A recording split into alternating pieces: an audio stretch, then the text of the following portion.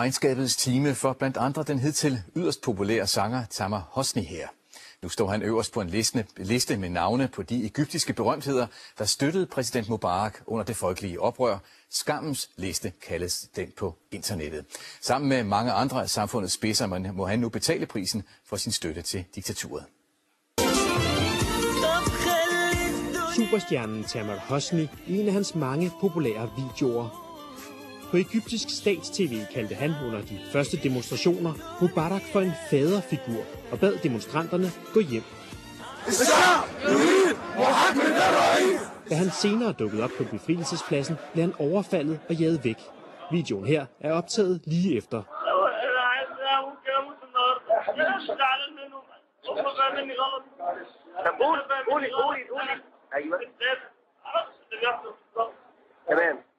That move where he called the TV channel and cried for Mubarak was a very bad move. Very bad move. Very disrespectful for the people in Tahrir.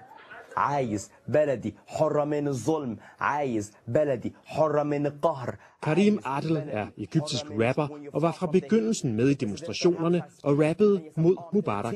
With a mic and a pen and a pad, here's your evidence. Weapons of mass destruction, Mr. President. Han var med til at foreslå ideen om skammens liste. Because if this whole revolution stands out in history, then the people who stood up against it should also stand out in history. Just like history remembers the good, they always remember the bad. Man kan stadig købe CD'er og film med Tamar Hosni her i Cairo. Men folkene bag listen her, listen over musikere, filmstjerner, journalister, som ikke støttede revolutionen, ja, de håber, at folk begynder at boykotte folk som Tamar Hosni nu. I would, I would personally boycott all their art. I don't want to work with any of them again. As even if I do enter the, their genre of, of entertainment, I don't want to work with them. And I know that a lot of actors and actresses in Tahrir feel the same way. Tamar Hosni siger gennem sin talsmand, at han ikke ønsker at give interview lige nu.